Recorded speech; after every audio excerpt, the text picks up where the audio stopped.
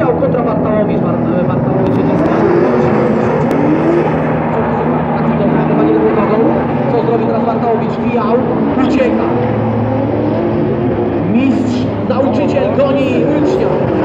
Zobaczymy jaki będzie tego